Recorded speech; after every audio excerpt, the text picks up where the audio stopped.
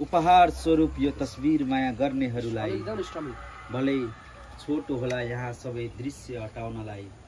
जिन्दगी नरहोस् रहिरहनेछ यसमा कैद पलहरू। तिमी छौ तिम्रो प्यारो मान्छे छ। त्योभन्दा अरू अरू बढी के नै चाहिन्छ र एउटा माया गर्ने व्यक्तिलाई?